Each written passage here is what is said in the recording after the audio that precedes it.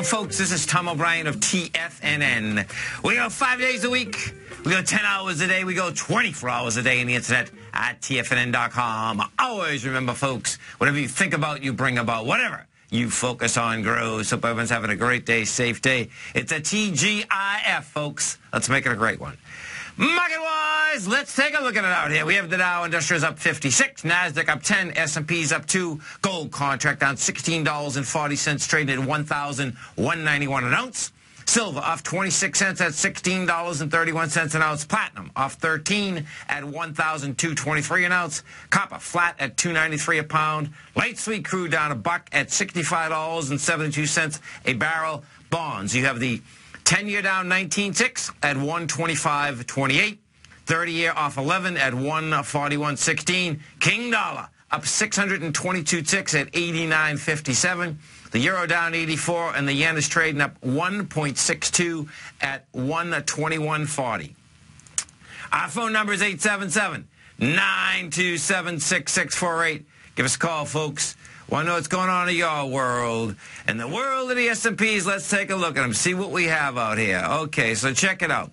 S&P and the Dow Industrials both go to a new high. We start out here, we take a look at this uh, cash S&P first. Cash S&P gets to a price point out here today of 2079.47. Right now, we're at uh, 2075. Uh, the weekly uh, high out here is 2075.76. I expect what you're going to see out here today is that you're going to see a, well, we have light volume number one, but you're going to see a weekly fail. This is uh, deviant, about as deviant as you get. If you go over to the SPY, the SPY, what you're going to see in the SPY is that the SPY has done 63 million shares. Uh, you're going into 142 million. That is on the daily. On the weekly, what we're going to have set up here is you're going to have you're going into uh, 454 million, and right now we're at 401. So bottom line on the weekly, uh, we'll see if the price is going to be over the highs of what it's basically testing, which is two weeks ago. Uh, that is 207.84. Right now we're at 207.97. Uh, if I just jump to the E-minis for a second, what, you, with, what we had intraday here, folks, is this intraday, you know, when we were talking about this yesterday, yesterday you had the spike higher uh, at uh, 1230.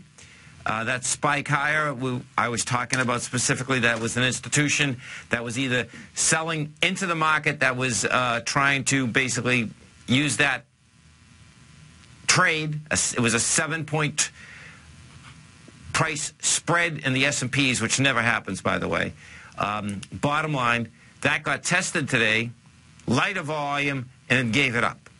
Um, and when we say uh, how it got tested, so check this out. When it got tested, the first time it got tested at 34,000 contracts versus the 95,000. The second time it got tested, it got tested with 8,000. So you get 8,000. Here's the correlation. 8,000, 35,000 into 95,000.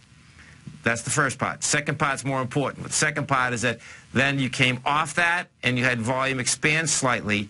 Uh, what we just did, uh, at, just as we're getting on the air, the volume expanded dramatically coming into the, the lower swing points. Uh, last 10-minute bar here was, has been the largest swing bar, excluding how the first test got done this morning. So what does that set up? That's going to set up a flat S&P as we come into the close. So it's going to be interesting uh, watching this next uh, 65, 60 minutes coming into this close. Uh, gold contract. We go take a look at gold. What we have with gold is this. Gold contract down 16 bucks. What gold is doing is came it's come into the huge sign of strength that it had on Monday with dramatically lighter volume. The bottom line is that they get the metal down, but the metal's not down in the context of uh, the dollar being up over 600 ticks. Uh, so what I expect you're going to see out here, and in fact, if we look at the XAU, the HUI, the equities themselves, they're not whacking. Uh, XAU is down uh, uh, a buck 37 at 70. That's building cause for higher price. Uh, if we take a look at individual equities, we pull up AEM, Agnico Eagle. What you see with AEM is that you're back 56 cents. You're back into a sign of strength where it had uh, 4 million and four, yeah, four million both times, and you're at 1.6 million. So bottom line is that those babies are building cause for higher price. Now, The bond market, folks, is the one that's still screaming it wants higher price. This is pretty amazing, actually, because we had a jobs number come out today that was huge. Um, we go over to the bond market, though, and guess what? Bonds just don't want to pull back. Uh, they got the 10-year today went to 123.28. Rejected that price. Ended up, uh, no, one, yeah, 125.23. Rejected that price the, the thing that is really wild about bonds, the swing point in bonds, okay, so picture this, the, the lowest swing point, which it should have been able to make today, is 125.17 and just couldn't handle it. Just couldn't make it. So bottom line, what I expect you're going to see here is that bonds are still building cause for much higher price. The first downdraft was pretty dramatic. There's no two ways about it. Bonds went from 126.17 down to 123.23. Big, that big downdraft. That's on the 10. Uh, we take a look at the 30 year, what you had with the 30 year, same type of setup in the 30 year. Um, U.S. it's you know it's wild, folks. Is getting used to the 2015 because uh, the future contracts now end with a five. Uh, we're in 2015. Pretty amazing. I guess we're only 30 days away from it too. 40, 50, well, no longer than that. 50 days.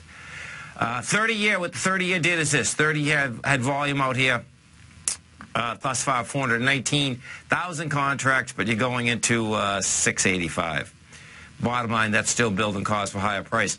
And the 30 year, this is what's really wild, the 30 year is still inside the October 15th bar. That's amazing because that, that October 15th bar, the high of that bar is the 146.16 level. That wants to get hit. Now, let's go to King Dollar because King Dollar not only is at the higher swing points. It has stayed at the higher swing points. Right now, King Dollar is at 89.57. It's up 622 ticks. If we go over to the continuous contract, uh, it was 88.80 that has been trying to hit for over a month. Uh, it basically hit that this this week, and then what it did is also go to the um, on the continuous contract. We've hit 89.49 and 89. 71 is the high of 2009. Um, it's hit, hits to hit all of them. So, so here's your, here's your, here's your deal. 89.71 probably is going to get hit now. Why? Because we hit 89.49. This, there was the dollar had stayed up here in 2008 from October through March.